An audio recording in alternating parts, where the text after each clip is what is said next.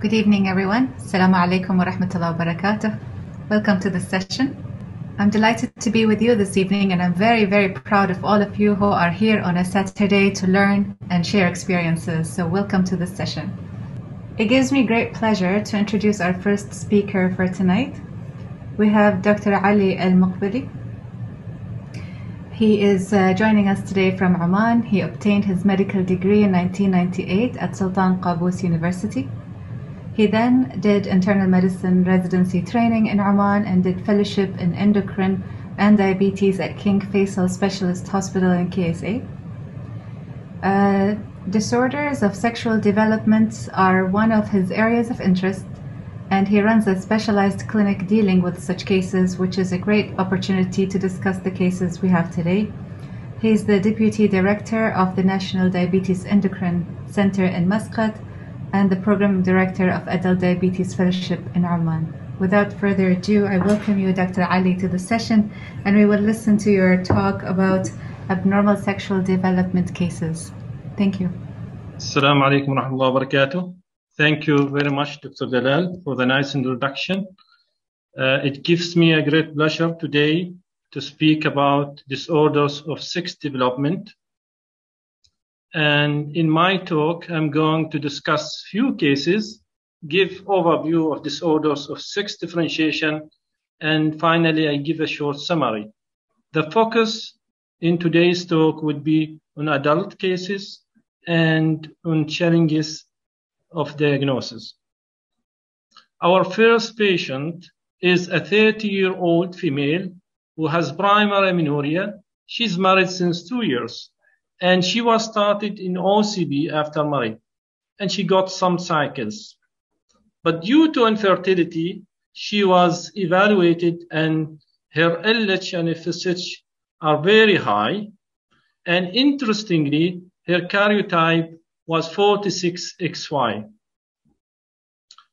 Her eldest sister has a similar issue, but never evaluated. Now, in examination, she is tall, no facial dysmorphism and she has completely female phenotype, including well-formed breast and external female genitalia. Her hemoglobin is 13, her potassium is 4.6, and her testosterone is normal for a female reference. Her LH and FSH are high. She has normal cortisol, ACTH, and 17 hydroxyprogesterone. Her karyotype confirmed that she is 46XY and the SRY gene is positive. The MRI showed hypoplastic uterus and absent bilateral ovaries. So we are dealing with a 46XY female phenotype, low testosterone, hypoplastic uterus. And the question is, what is the likely diagnosis?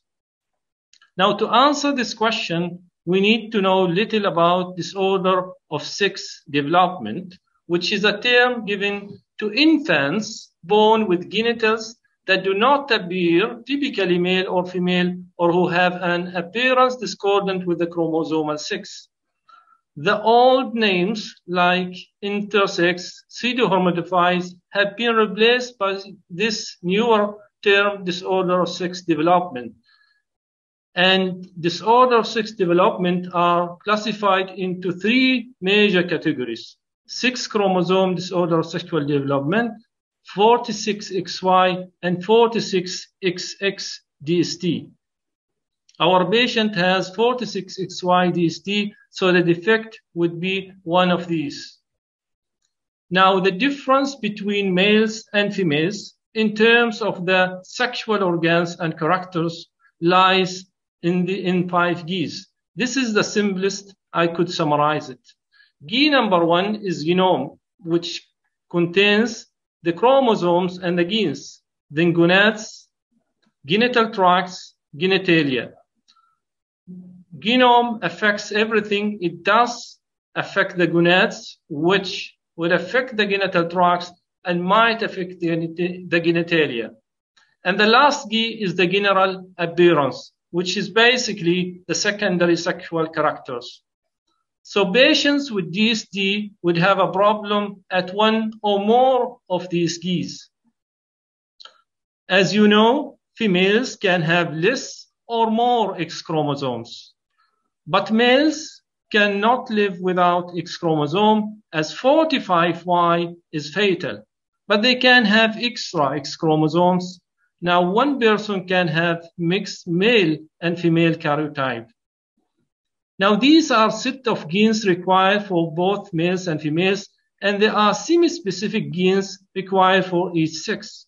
For example, for 46XY, the SRY gene is needed for testicular development. Now, a 46XX female can change to a male phenotype if there is SRY translocation, SOX9 duplication, or RSPO1 mutation. Similarly, the opposite can happen if one of these changes occur. Now, early in life, everybody has a bipotential gonad that is going to become testis or ovaries depending on the genes. Early in life, everybody has Mullerian duct and Wolffian duct. One of these ducts is going to progress and the other is going to regress depending in the presence or absence of testis. And these are the derivatives of Wolffian duct and Mullerian duct, abbreviated as 3Vs and 3Us. Now, in the presence of Y chromosome, which usually has the SRY gene, the undifferentiated gonad is going to differentiate into testis, and the testis would have Leydig cell that would secrete testosterone for maintaining Wolffian duct structures, and testosterone will be also converted to dihydrotestosterone that is important in virilization of external genitalia. The testis would have Sertoli cells that is going to secrete the Mullerian inhibitory substance to inhibit the Mullerian duct development. Now, early in life also, the external genitalia looks the same in both, and at 8 to 12 weeks of gestation, virilization can happen depending in the presence or absence of dihydrotestosterone. Now, a 46X, uh, a 46 XY DSD can have a problem in the testis where there is testicular maldevelopment, ovotesticular conditions, dysgenesis, regression. The problem can happen at the biosynthesis of testosterone where one of these enzymes is defective. It can be at the LH receptor or it can be at the LH and GnRH. But usually this happens later, this is a concern later in pregnancy because in the initial phase of pregnancy, the placental HCG is the one that drives LH. The problem can be at the level of testosterone conversion to DHT or at the androgen receptors. So a defect at one of these sites might cause a 40, a 40, a 46XY DSD. Now, testis loves the number seven start differentiating at we at, at week seven and start descending and the scrotum fuses by 70 days of gestation and the testis is at the, around the inguinal by seven months.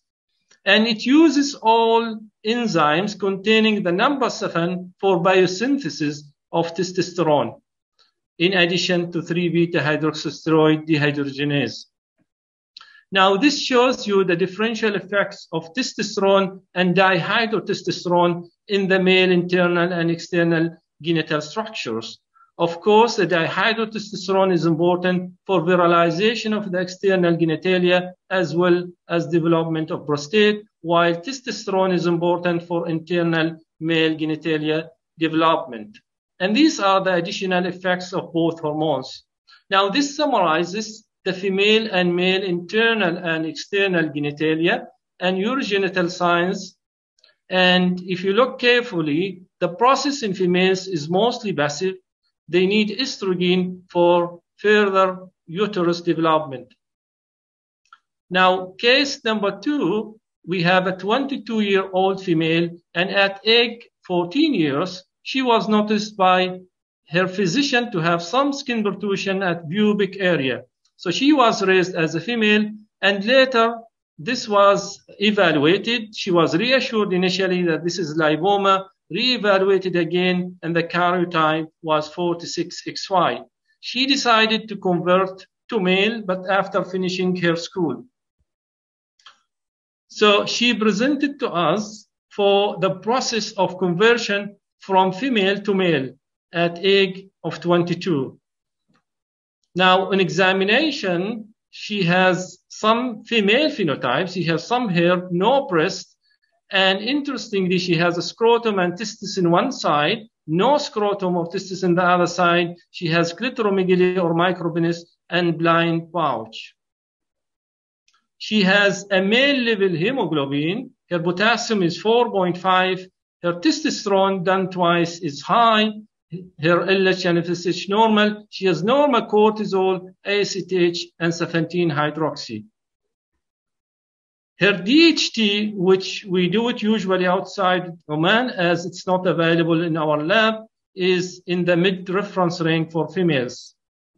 Her karyotype confirmed that she has 46XY karyotype and the SRY gene is positive.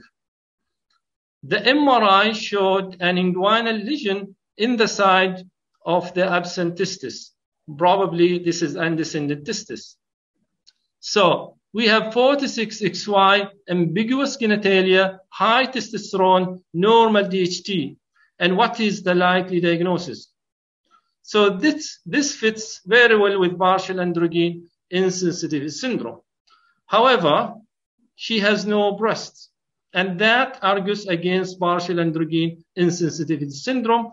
And when we look back at the dihydrotestosterone, remember that the identity of this patient is still female. And for a male reference of DHT, the DHT is low actually.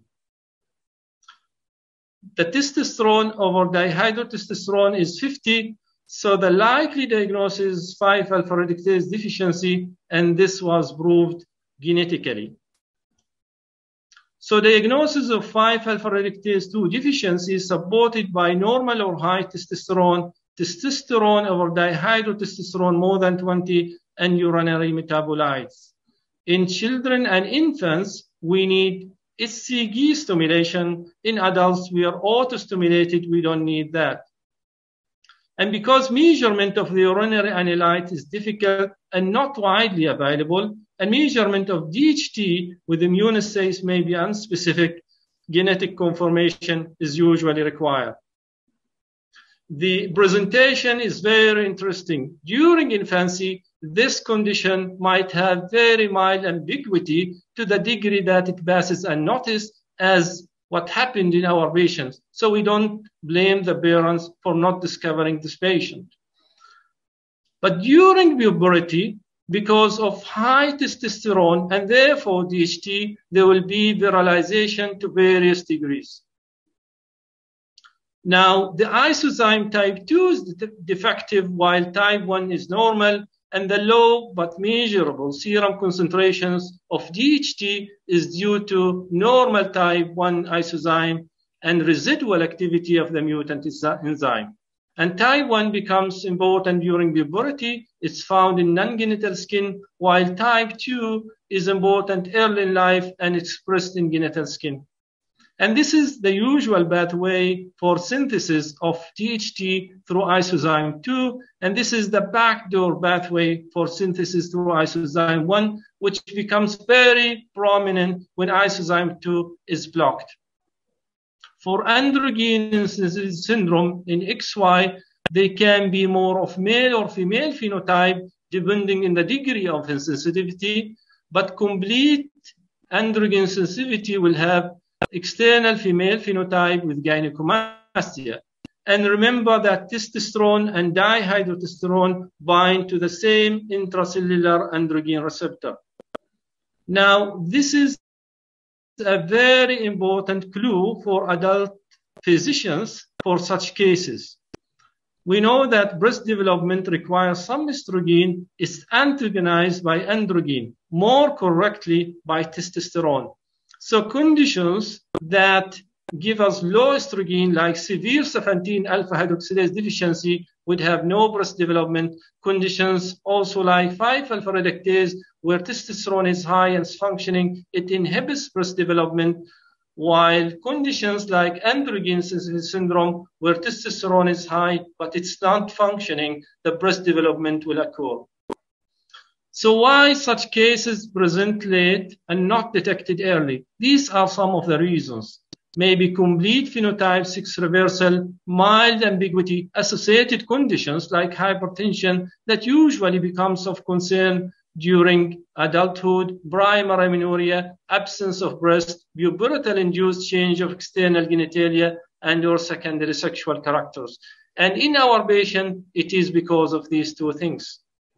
Now, our third patient is a 37-year-old female, difficult to control hypertension and cause features. She is on multiple medications for blood pressure, and she has been having primary amenorrhea, and she got OCBs, but there was no withdrawal bleeding. So she got referred to us because of cause features query acromegaly.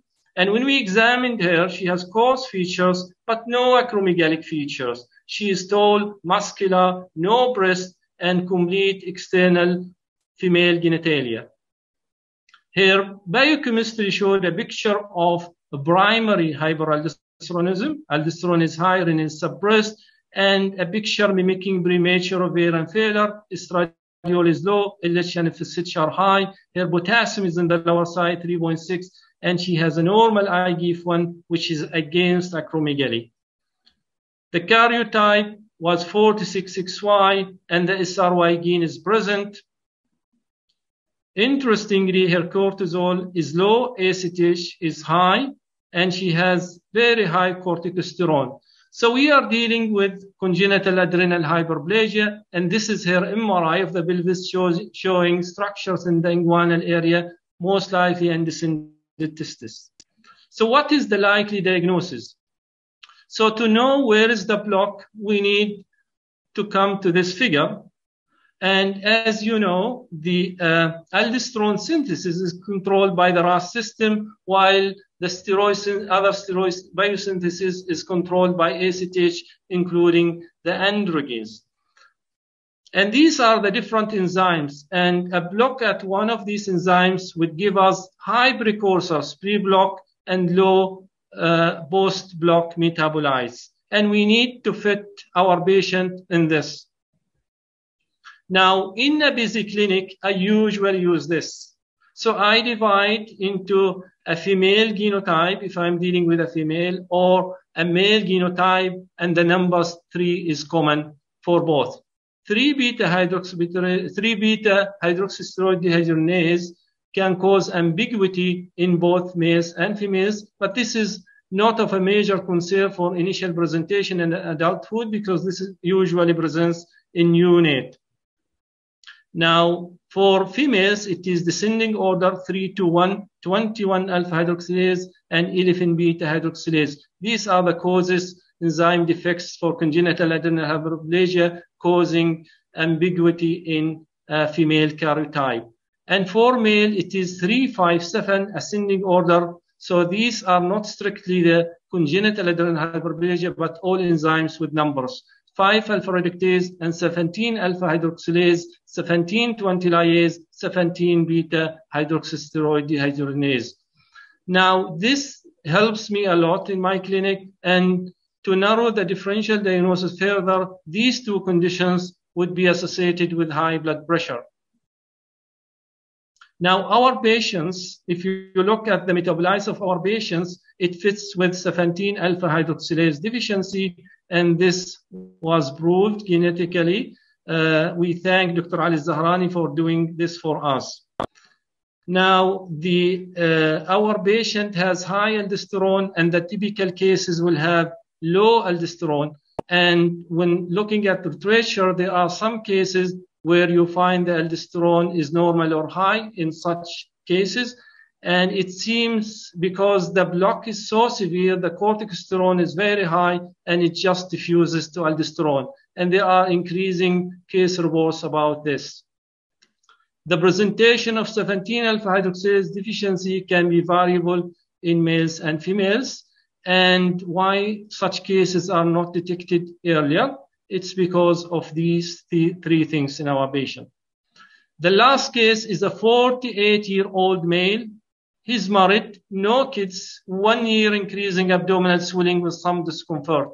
And he underwent CT abdomen, which showed huge mass, 20 centimeters, query malignant lesion. And there are suprarenal, which are like adrenal masses, most likely originating from the malignant lesion from the abdomen. In examination, he's short, he has male phenotype. The only abnormality, he has empty scroti and no testis in the scroti. And his testosterone is normal, his cortisol is normal, he has also normal beta HCG and alpha fetoprotein. So what is the likely diagnosis? looking at this patient with undescended testis, somebody would think of malignancy like gonadoblastoma. He underwent biopsy of the abdominal lesion and it showed benign smooth muscle fibers repeated and it was benign smooth muscle fibers. And strikingly, this is his MRI showing big uterus with fibroid. His labs again, testosterone is normal 11, estradiol is 227, LH and FSH are suppressed. His ACTH is markedly high, and yet he has normal basal cortisol. There's no increase after Synacthen. He has very high 17 hydroxyprogesterone as well as androstenedione, normal 11 doc. The karyotype was 46XX. So this is congenital adrenal hyperplasia presenting for the first time at age of 48 and it's a bit like a typical presentation. And we're trying to fit this patient in this figure. And this is a, a, a female karyotype, 3 to 1. We usually exclude 3. We're remaining with 21 and 11. And this does not fit 100%. So we're trying to look at rare uh, atypical congenital adrenal hyperplasia and also does not fit, but it does fit like 80% in this. So the differential between 21 and 11. So there are a lot of diagnostic challenges in this case, which is beyond the scope of this presentation. There'll be a lot of management challenges also in such a case, which is also beyond the scope of this presentation. We've proven that this patient have 21 hydroxylase deficiency through a genetic study, and this is his uterus and and adrenals after surgery. He has big uterus and big adrenals around 18 centimeter bilaterally. In so in summary, I spoke about five Gs the physical examination would help us identify the genitalia and the secondary sexual characters. It might help identifying the gonads. We would require imaging and labs for the gonads and the genital tracts. We always require karyotyping and sometimes specific gene study. DSD with atypical genitalia is usually picked up in the neonatal period DSDs presenting at adulthood are likely to have complete phenotype sex reversal, mild ambiguity, hypertension, primary amenorrhea, absence of breast, or pubertal induced change of external genitalia and or secondary sexual characters. Atypical genitalia caused by enzyme defect is due to in females 3 to 1 descending order and in males 3 5 7. For the proper diagnosis, we need proper history, physical examination, and targeted investigations. There are three diagnostic tools for adult endocrinologists and not for pediatric endocrinologists. The presence or absence of breast, virilization at puberty, HCG autostimulation.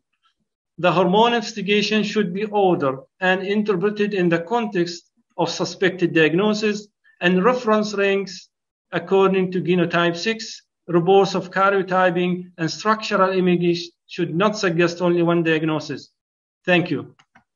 Thank you so much, Dr. Ali. That was fascinating, and we really enjoyed how you simplified and clearly described these interesting cases.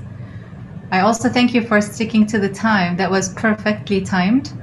I will move on to our next speaker and then we will do the panel discussion, inshallah. Now, our next speaker is Dr. Abdul Majid Al Subaihin. He's an assistant professor in Department of Pediatrics, College of Medicine, King Saud University. He's a consultant in pediatric endocrinology and child bone health at the Medical City of the King Saud University and Dr. Abdul Majid, we welcome you to the session. You may share your slides. We look forward to your talk on hypoparathyroidism. Uh, thank you for the organizing committee uh, for giving me the uh, opportunity to present at uh, such an esteemed uh, uh, Congress of the Gulf Association of Endocrinology and Diabetes.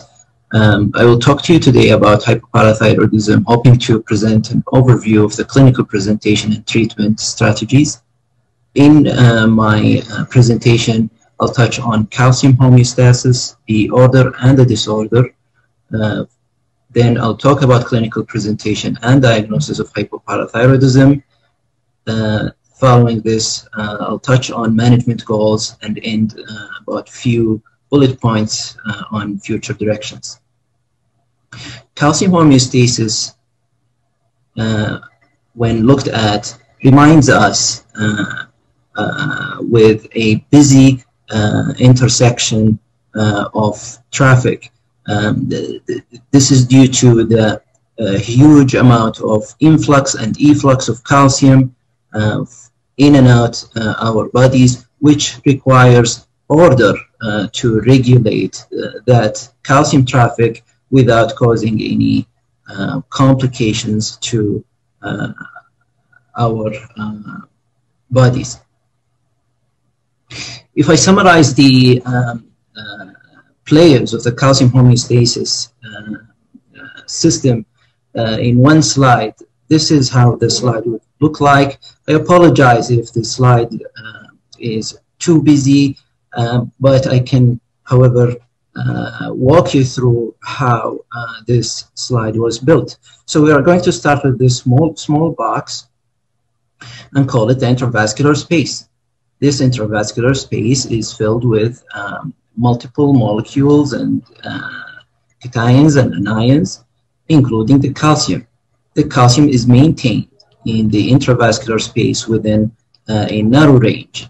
This maintenance is made through um, players in the homeostasis system that interact with each other to achieve this. Um, the first player is the parathyroid cell, along with its sensing mechanism. To test that sensing mechanism, let's just try to tamper with the calcium level in our intravascular space.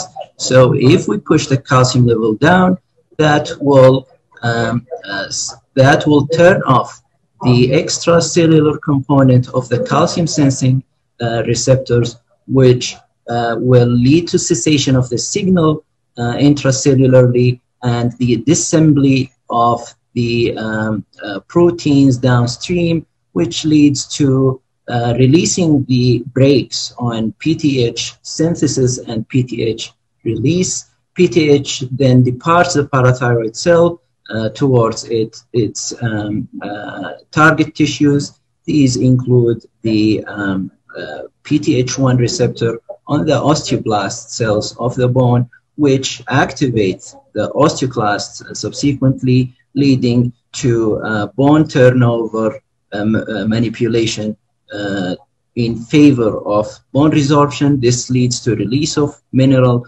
back to the uh, bloodstream from the calcified tissue. The PTH1 receptor at the kidney and the kidney tubule uh, leads then to phosphaturia and uh, reabsorption of calcium back into the system. Further, it activates the 1-alpha hydroxylase enzyme, leading to uh, hydroxylation of the 25 hydroxyvitamin D into the 125 dihydroxyvitamin D, which departs to the gut and leads to calcium absorption and phosphorus absor absorption with a net result of restoration of our calcium.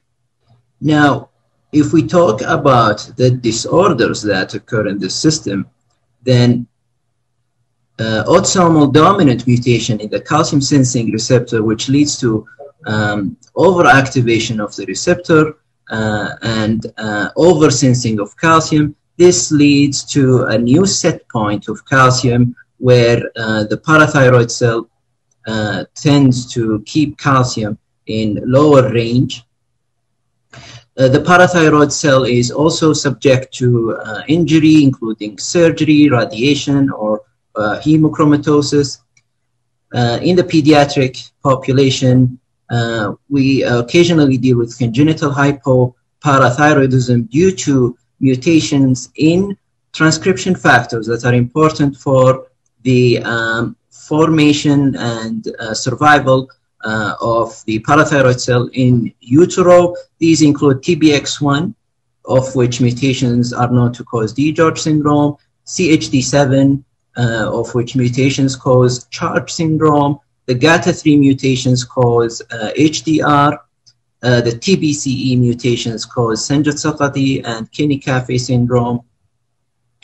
Um, mitochondrial DNA alterations causing mitochondrial disease. This is also known to affect the parathyroid cells uh, in uh, Kearns-Sayre syndrome and MELAS syndrome. Um, mutations in the in the PTH molecule itself cause auto, autosomal dominant and autosomal recessive hypoparathyroidism, autoimmunity against the parathyroid cell, or um, antibodies against the calcium sensing receptors leading to activations are known to, uh, in, in patients with APS uh, type 1. Also not to forget about magnesium as both hypermagnesemia uh, or uh, hypomagnesemia uh, are known to alter the function of the parathyroid cell, which may lead to hypoparathyroidism. Now, in terms of clinical presentations, uh, these differed according to age groups. For example, in newborns and infants, um, these, these um, individuals usually present with incidental biochemical finding, um, but most occasionally uh, seizures is the, is the presenting symptoms. Tetany, recurrent stridors, and delayed motor milestones are also presentations of hypoparathyroidism in this age group. Uh, when children are, are older uh, enough to, um, uh, when children are old enough to express the, um, the uh, neuromuscular uh, signs and symptoms associated with hypoparathyroidism, they start complaining about tetany and tingling, muscle cramps, and they are noticed to be fatigued. They also may present with seizures.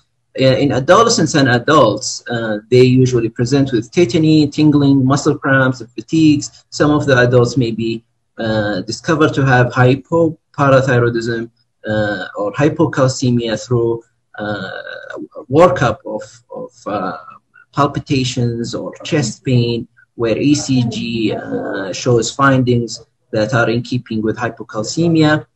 Um, there is also this description of the brain fog feeling, or which leads to decreased uh, quality of life in these individuals. Hypocalcemia or hypoparathyroidism is a multisystemic disease. Um, these systems are either affected by hypocalcemia itself or by the lack of parathyroid hormone uh, effects on peripheral tissues. Uh, also, these tissues are perhaps affected by the conventional therapy that we administer to, to these uh, individuals. So uh, there are certain associations with hypoparathyroidism uh, that the clinician should be aware of, especially um, uh, clinicians who practice uh, in the pediatric field.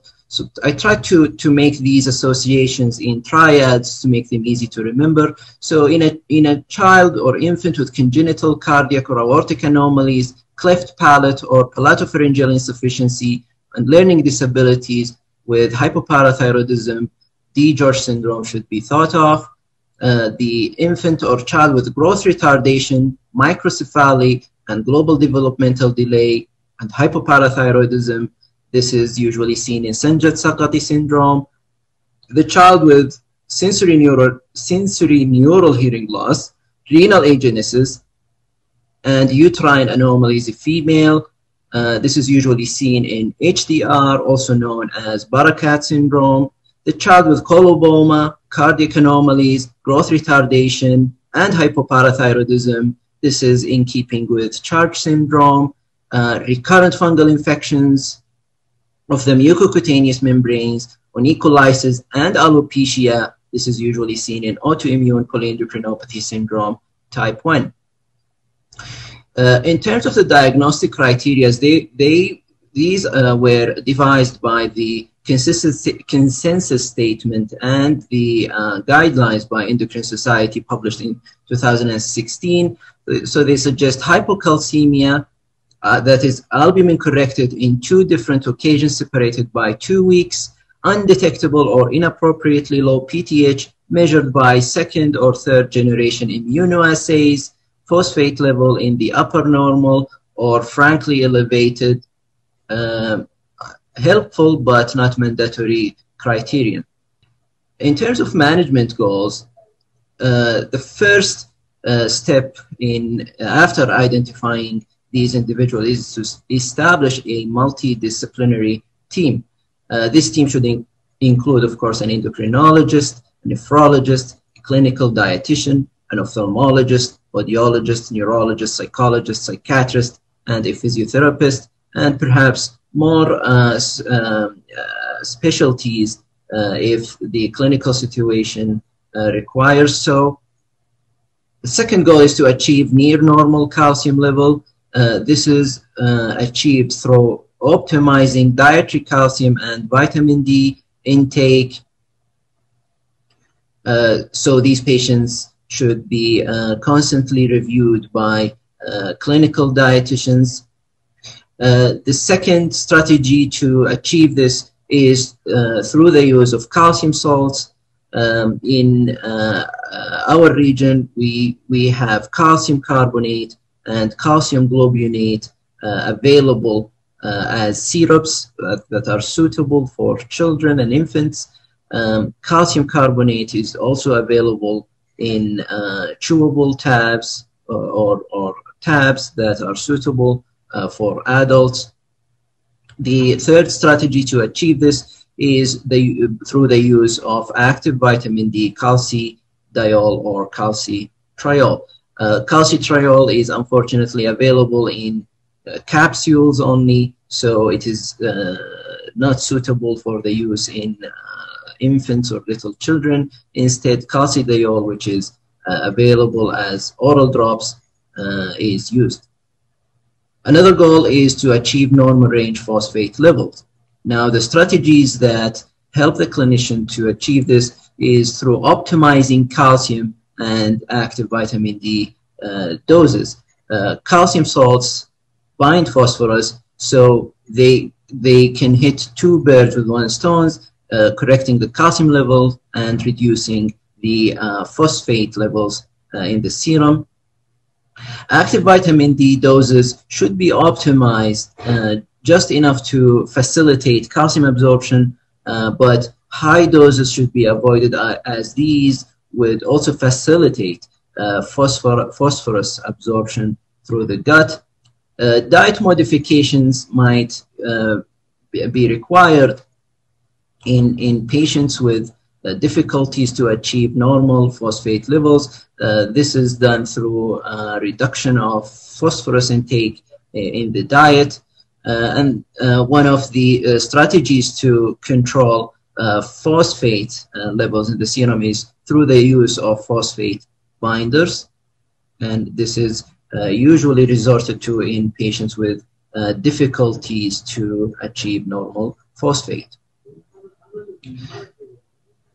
Uh, another goal is to minimize hypercalciuria. Uh, this is required to preserve uh, the renal functions and to avoid uh, the formation of uh, renal stones. And this is again for optimizing calcium and active vitamin D uh, through achieving uh, uh, near normal calcium level and avoiding normal or high calcium um, uh, serum levels. Low salt diet in combination of hydrochlorothiazide is another strategy to minimize hypercalciuria. Hydrochlorothiazide is, however, contraindicated for uh, in, in individuals with hypoparathyroidism associated with Bartter syndrome or tubulopathies. In regards to monitoring and follow-up, so all of these individuals should be seen every three to six months uh, with uh, uh in uh, a, practice uh, that is experienced in the management of hypoparathyroidism uh, in each visit, uh, calcium, phosphate, magnesium, BUN, and creatinine, EGFR uh, should be assessed and done um, as frequently as the clinical situation requires. 24-hour urine for calcium creatinine ratio uh, as clinically indicated. In children, we tend to uh, screen uh, hypercalciuria uh, by checking the spot urine calcium creatinine ratio on every visit. Uh, renal ultrasound uh, is recommended yearly or every two years in these individuals to screen for um, nephrocalcinosis. Uh, brain CT scans and eye, eye exams are uh, indicated uh, whenever there is concern about um, the function uh, of the basal ganglia as these are prone for, to calcifications in these conditions. Eye exams are also in, indicated uh, for uh, screening of the associated complications such as uh, cataract and papilledema. Um, in, in, terms of the management strategies that we have spoken about thus far, these all uh, are uh, labeled as the conventional therapy.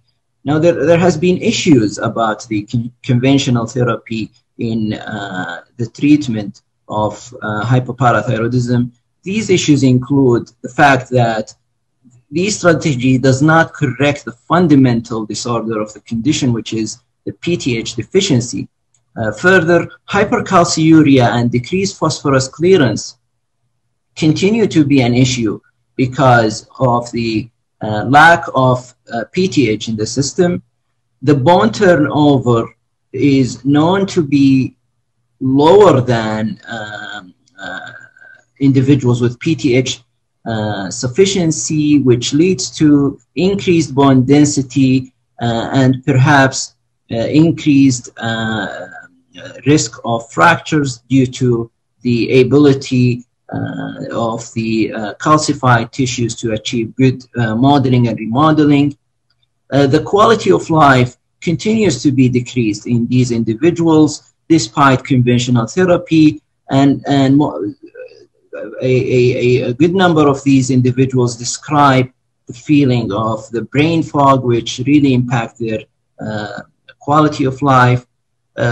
The burden to medical care systems continue to be a concern as these individuals require uh, multiple visits to the hospital, multiple, multiple biochemical uh, testing, and, and to add to the mix, children that we follow up with hypoparathyroidism uh, have variable calcium levels and they tend to uh, require multiple hospitalization as their calcium levels tend to uh, plummet each time the, the child catches a virus or has uh, a, a, gas, a, bout of gastroenteritis.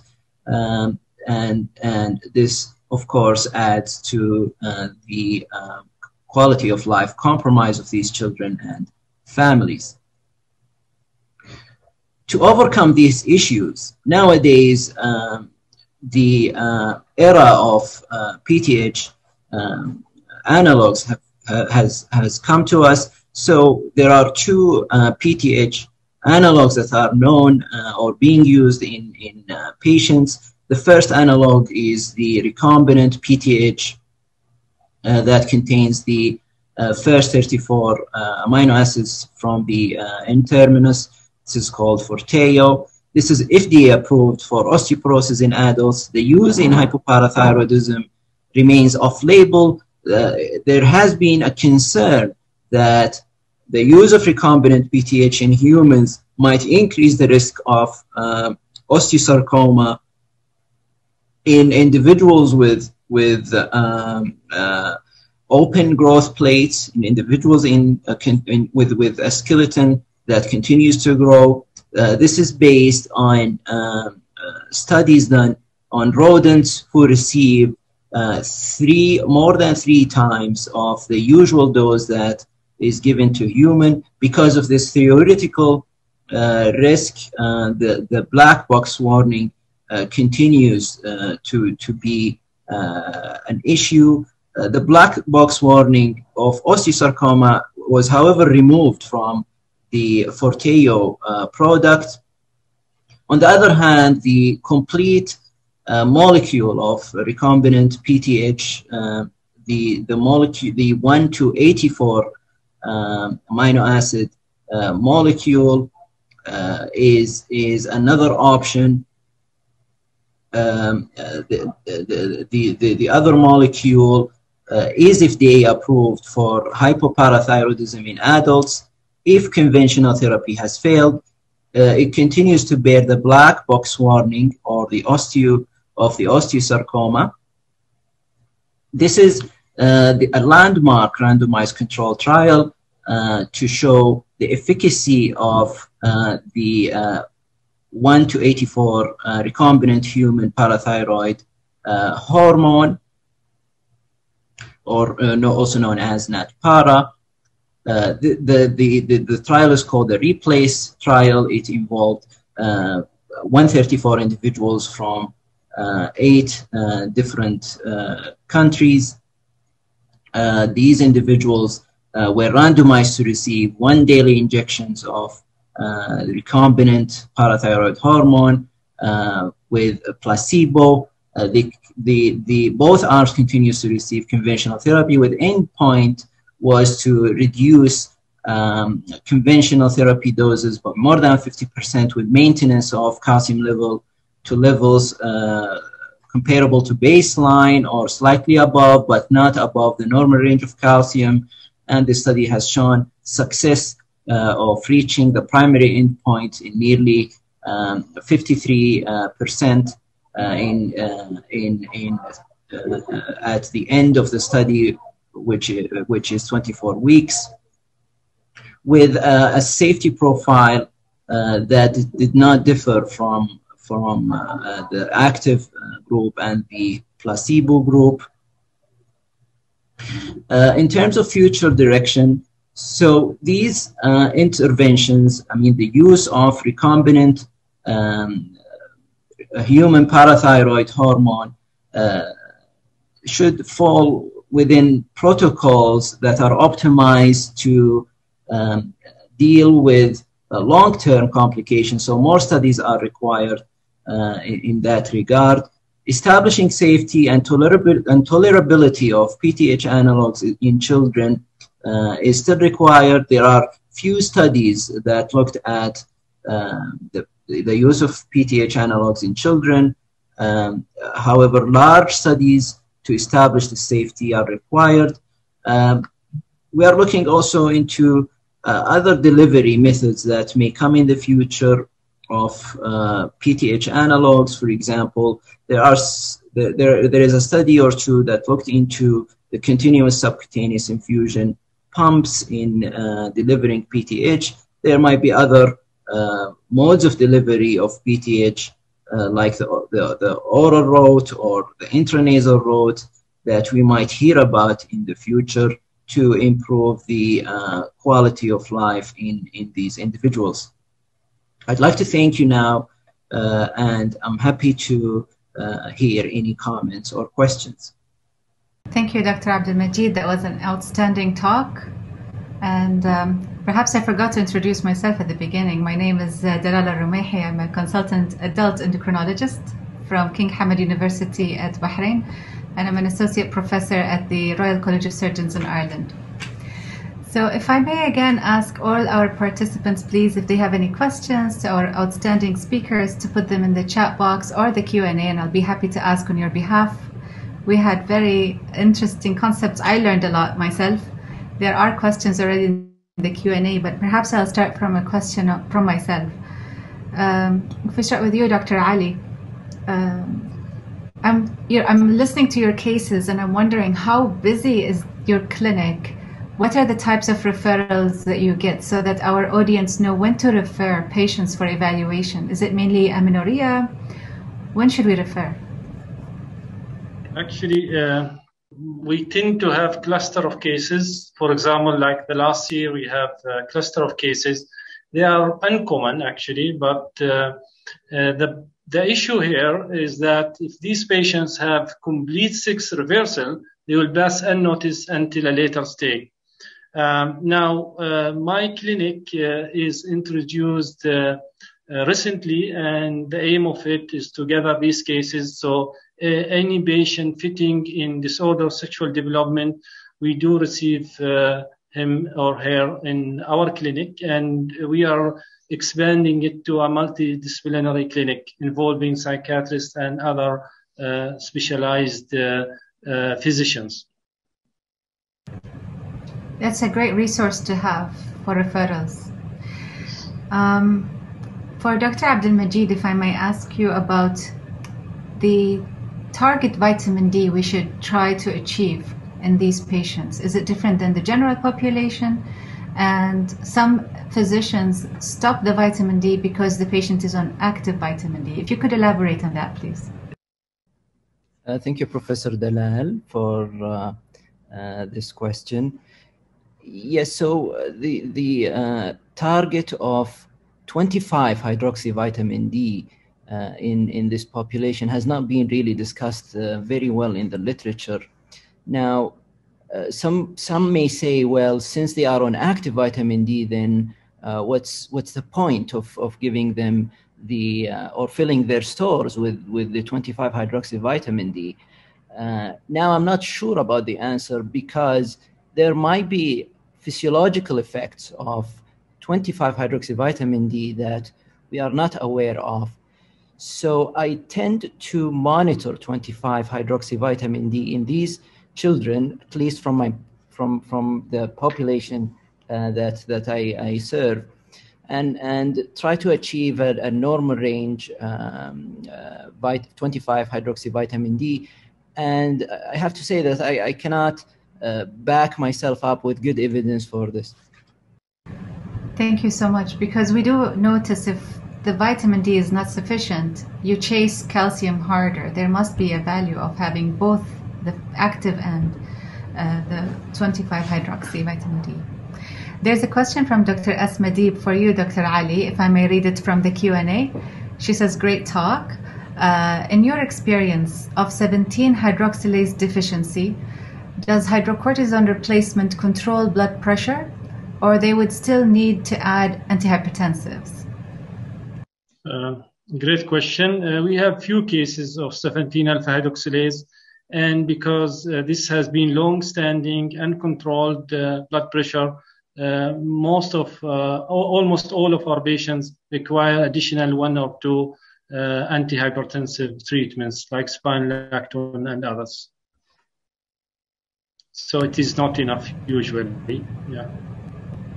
And you think you attribute that to the chronicity of their hypertension leading to some yes. damage? Yes, yes, yes. Yes. And then there's a question for you, Dr. Abdul Majid, if I may. Um, for how long can we use Forteo in patients with hypoparathyroidism who are not controlled with conventional treatment if we do not have available 180 for RPTH? Uh, yeah, so in that regard, I'm, I'm afraid that I don't have, or I haven't come across any, any data that looked at uh, long-term safety. Uh, I have come across a study that looked at eight-year uh, uh, outcomes uh, on on NATPARA, the 1 to 84 amino acid recombinant PTH. So one may one may argue that they they are almost the same, but um, I, I can't be sure. Especially with pediatrics and their growth plates are open, so we don't know the long-term data. Exactly. So in, in pediatrics, we seldom use uh, these products. Um, in my in my career, I only saw uh, two children uh, the Teo product. One uh, was with uh, APS type one who who uh, failed conventional therapy and and responded very well on on Forteo, and that that child was uh, an adolescent and used it for almost three years, and she was happy on it.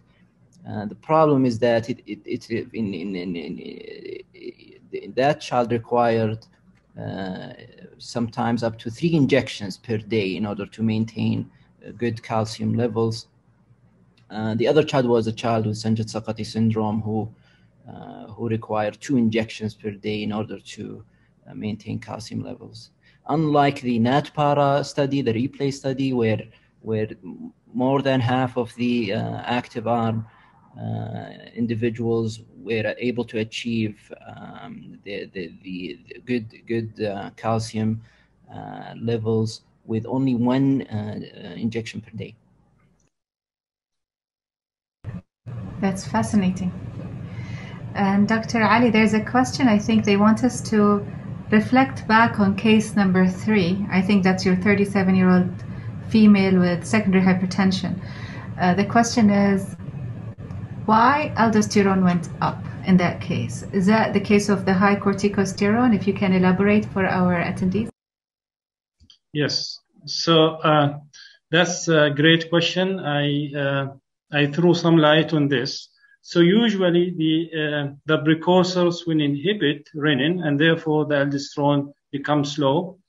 And in our case, the aldosterone is high. And it seems if the block is so severe, you have a lot of metabolites pre-block and it just diffuses to aldosterone. That's the only explanation. And there are uh, a lot of case reports highlighting this, especially from the Gabonese group. Thank you. And if I ask you again, Dr. Abdul Majid, about the outcome of therapy, that was very important. So it's not just biochemical improvement, but we want to see hardcore outcomes. So for children, what is expected for their uh, bone health? What is expected for their growth development, their stature? Yeah, yeah, you're absolutely right. Um, uh, results are what clinical trials publish, and, and outcomes is what, what makes it to the news. So uh, unfortunately, in children, there aren't sufficient studies that, that looks at the, how how children uh, change or how their quality of life change while on uh, PTH, and it's it's because that there is a concern, a big concern of using recombinant PTH in children due to the black box warning. Now, in adults, um, well, I think there should be studies looking at uh, rate of calcification in the basal ganglia, basal ganglia function uh, over a long uh, term of follow-up, renal function over long term of follow-up, cost effectiveness and burden to medical uh, healthcare systems. Now, one thing that, that has been looked at is, is the brain fog uh, feeling that, that most of adults express when, when they are uh, suffering from, from hypopara. And, and, and this feeling has been uh, significantly reduced uh, in in uh, individuals who took the recombinant um, parathyroid hormone. Uh, they also improved in in uh, uh, quality of life scores. So that that is very encouraging, and we hope to see this in children soon. Absolutely. And Dr. Ali, uh, I must ask this question. I know you said it's outside the scope, but what to tell them, how to, to deal with them? I think it's almost as challenging as finding the right gene and the right diagnosis and what pathway went wrong. And we discuss this sometimes, or I, I see chat uh, discussions in the uh, uh, endocrinologists group saying what to do in the Gulf. How do we deal with it religiously, socially, legally? And we shy away from it. We withdraw from it as clinicians. but patient rights are there and we have to be there to support them. So what are your comments on that? Maybe Dr. Abdul Majid will also comment on this issue. Yes. So uh, this is really very difficult. And uh, I think two or three of uh, the cases I presented, they are already married. Uh, and it's very difficult at this point to disclose the the the condition and what to do with the uh, wife or the husband. Do you disclose to them? Uh, is the marriage like religiously fine? Should they get divorced? There are a lot of questions. And uh, what we do, we do it in like uh, a graded sessions and we involve a multidisciplinary team uh, including the psychologist, psychiatrist, uh, uh, and we have also DSD committee and ethical committee in our hospital, and we are in contact with the religious people. So we involve all of them in the decision before disclosing anything. And luckily, things went fine um, to the degree that was not expected. We still have like two or three cases who are already married for several years and uh, we just discovered them now and now we are struggling how to disclose the issues. Uh, it has to be very careful. And it should be tailored to our tradition to our uh, like religion and beliefs uh, uh, and this might need like a full uh, session and discussion and there will be no consensus. Uh, but we we do it for the favor of our like culture and religion usually. Yeah. Yeah, thank you for ra- raising this point, uh, Professor Dalal. I do I do agree that uh, this area is still part of a, a, taboo that that doesn't really get touched when it, when it comes to our societies. Um, now, it is it is very sensitive to, the, to the extent that when when I see a child with with uh, the classical 21 hydroxylase, that child be, be a female in her regular follow up. When I ask uh, about the gender roles, and the, the, parents get get a little bit uh, upset. Um, so I, I, totally agree with with uh, Dr. Ali, and and um, uh, usually they say uh, approach to to chronic illnesses is through the biopsychosocial structure, but in our society, I would add the biopsycho-religio social structure in in in such in such uh, presentations. Um, I have to point out the suffering does not, or or the psychological um, burden does not begin at diagnosis. These individuals, uh, if you if you look back, they are in in uh, in in uh, a limbo and and uh, they are usually confused because most of them they have uh, gender roles that are not in keeping with their internal feeling for their entire life until a smart physician like Dr. Ali comes and say, well, we figured out what, what's wrong with you. So, so the, the, the, story doesn't, doesn't actually begin at diagnosis. The story starts from long before diagnosis. Totally agree. Well, this gives me, it gives me an opportunity to call upon GAAD as a society to put together some kind of guidance, some kind of committee over the region. We are so common among whether it's Oman, Saudi, Bahrain, Kuwait, Qatar, uh, UAE, we can put something together, maybe follow the same model that's for diabetes in Ramadan, which has chapters and different things, and religious and legal. Uh, luckily, this is less common, but it's more significantly important in religious and social aspects that maybe GAAD can lead a path towards a, a start of a guideline or a start of a um, consensus, maybe. Totally agree. Yeah. and I think with that, we will conclude the session to stay on time. That was a fascinating discussion and great talks. I really learned a lot and enjoyed it. Thank you so much. And I'm sure our participants appreciate it as well. Thank you and have a great evening.